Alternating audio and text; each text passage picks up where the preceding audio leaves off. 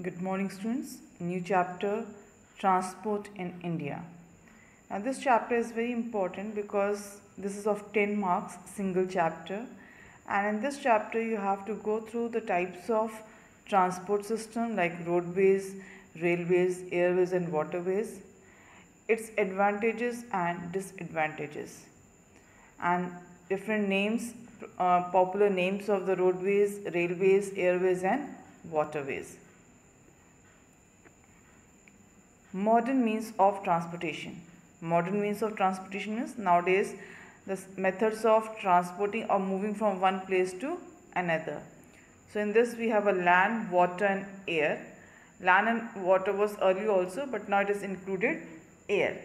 In land we have roadways and railways. Uh, pipeline is not in your course. Pipeline means that uh, supply of gas, LPG and uh, liquefied petroleum gas uh, to different parts of the countries and nowadays it is a new method through which we are supplying the gas to different houses and uh, people pay the uh, money according to the meter. Water is inland and oversea. Inland means rivers, oversea means oceans. Air, we have international airways as well as domestic airways. Now, transport is very important because through this passengers are connected with each other, the places are connected with each other. It uh, through the transport, uh, people can be carried from one place to another place. Even goods can be carried, and it helps in the economic growth of the country.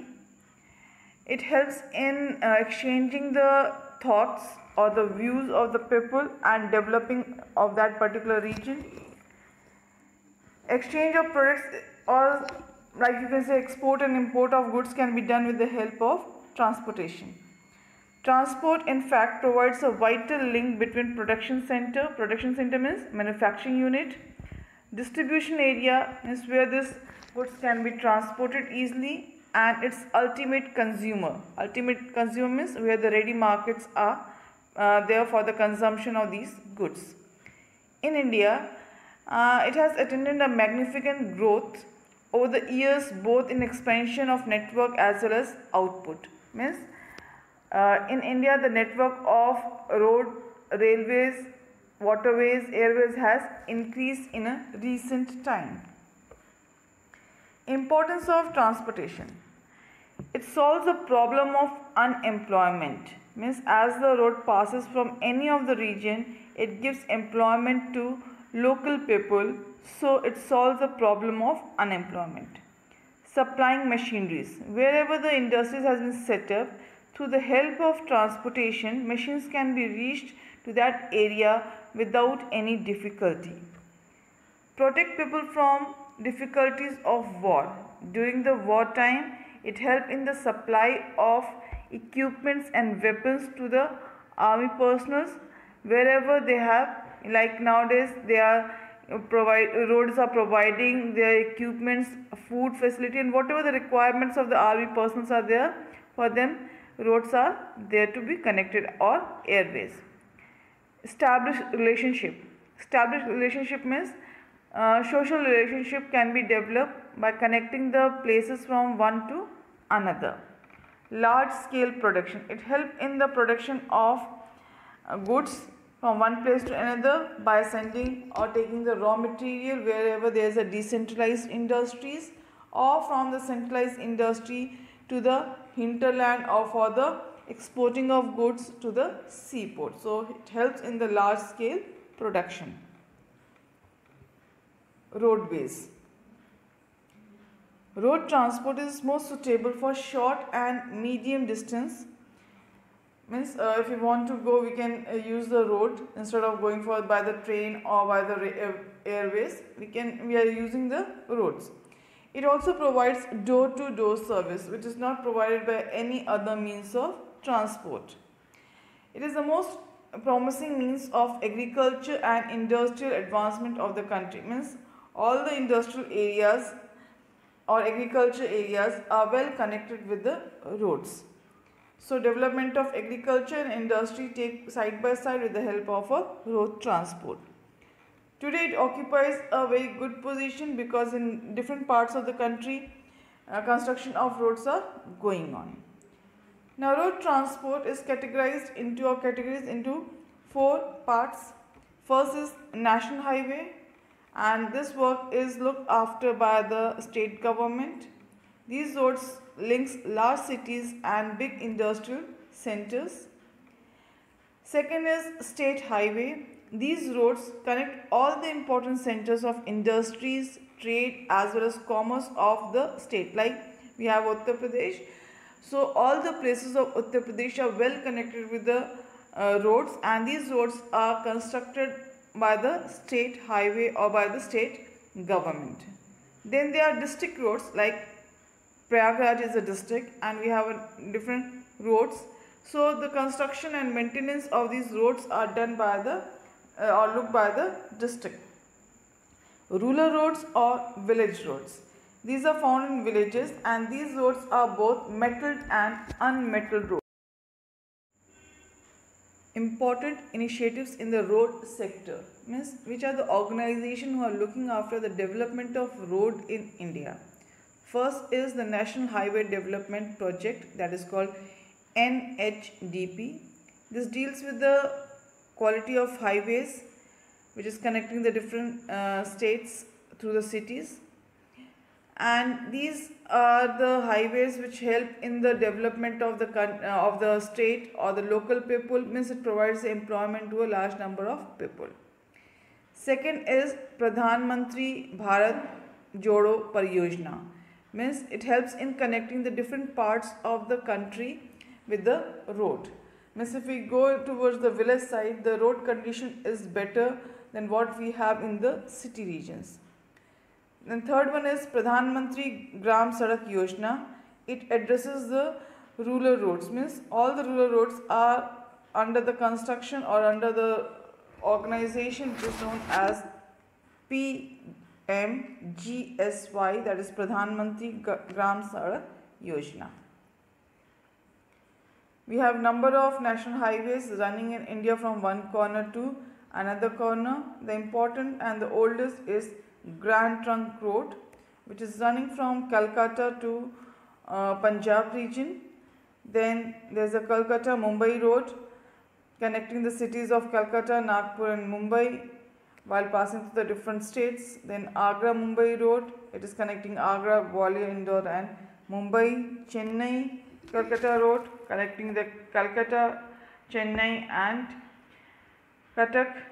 Then Pathankot, Dalhousie Road, this is in Punjab region, that is in northern part of India. So these are the different highways which are running throughout the country. Highway and expressways. What is the difference between highway and expressway? highway is a normal road which have a wide which have a two lanes but expressway is a wider roads which have six lanes or sometimes eight lanes and all the facilities are on the side of a expressway it have a limited speed also so Expressways, these are the multi-plane, well-paved highways used for the movement of goods as well as traffic, that is the people can be moved. The first expressway were constructed in the ahmedabad Vadodara Expressway, which is also known as National Expressway 1 or Mahatma Gandhi Expressway. It is in the state of Gujarat connecting the cities of Ahmedabad and Vadodara. Expressways are constructed to ensure smooth travel without any hindrance. It have 4, 6 or 8 lanes divided in the middle by the wider dividers and it have a tolls where the toll uh, road tax has been collected and it have a restricted speed that is 120 kilometer per hour not less or not more than this if they are less or more than this then there are chances of road accidents.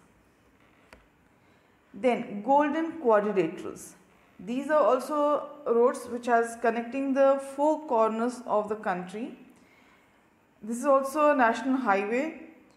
And in this four main metropolitan cities like Delhi, Kolkata, Mumbai and Chennai is connected. And the total length of this road is 5846 kilometer. As it passing through it, it connects most of the agriculture and industrial areas to each other. Importance is that that as it is connecting the major cities like Delhi, Kolkata, Mumbai and Chennai and in between the different small cities are also there it provides smaller towns better access to market. Local people they can have their own market, they can sell their goods easily on the way. Reduce agriculture spoilage in transport. The time taken by the transport to carry the agriculture goods from one place to another that has been reduced because of golden quadrilateral. Then drive economic growth so because of that as the people have people gets the uh, employment so it helps in the growth of economic condition promote truck transport means the big transport in which the huge quantity of goods or a raw material can be carried from one place to another so we can say it is the fastest uh, method of transportation from one corner to another corner Now you can see this uh, yellow color line. This yellow color line is joining the four metropolitan cities Delhi, uh, then uh, you can see Mumbai, Chennai and Kolkata. So these are the lines which are connected and showing the golden quadrilateral. And if you see that there is red color line running from Srinagar to Kanyakumari, this is called the corridor, north-south corridor and this is from east-west corridor, Silchar to Porbandar. It is also connecting the country from north to south and east to west. Advantages of road transport. First, it provides road to road or door to door service.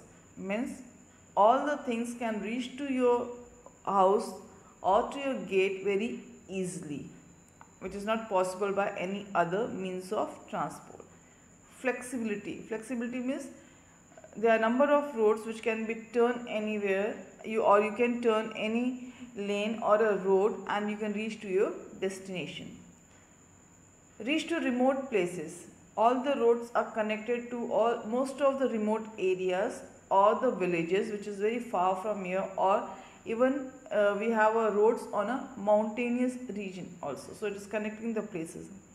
Speed wherever the uh, we have the expressways or golden quadrilateral the speed is good and people can reach to their destination in less time. Disadvantage there are unmetal roads and there is a poor maintenance of road also. Most of the roads in the villages are unmetal but now they are changing into a metal road.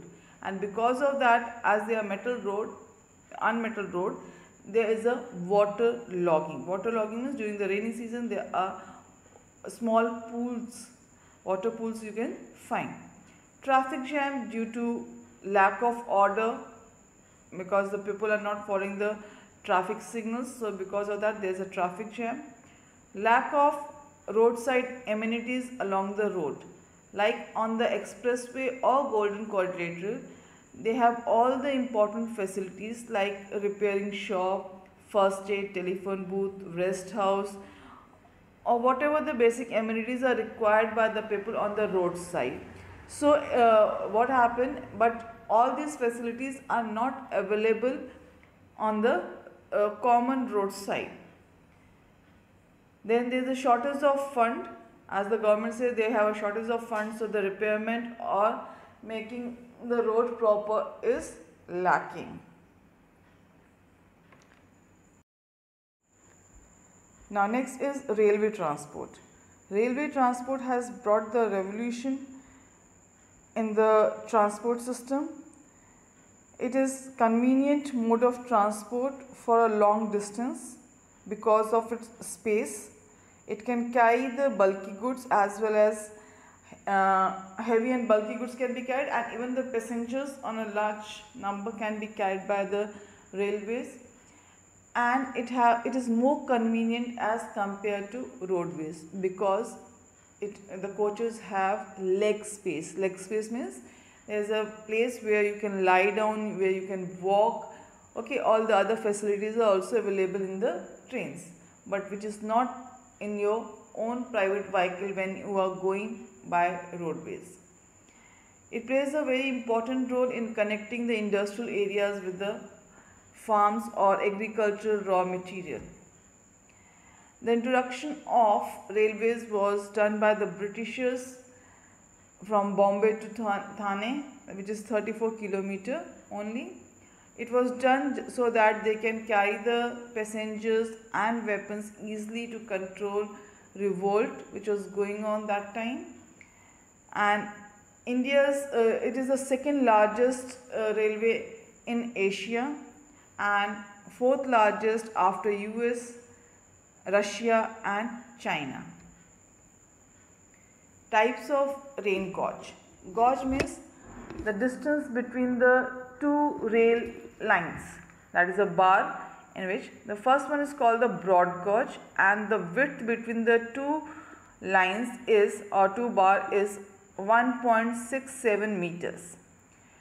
Broad gauge is used in most of the parts of the country and it is mainly installed to connect the major ports of the other cities to facilitate export raw material that is during the time of Britishers but now this percentage has increased so that the people can travel easily from one part to another part and it can carry a good amount of passenger as well as bulky goods like maybe knowing the names Sealdah, Delhi, Duronto, Rajdhani, Prayagraj and nowadays Bande Bharat. Second is meter gauge.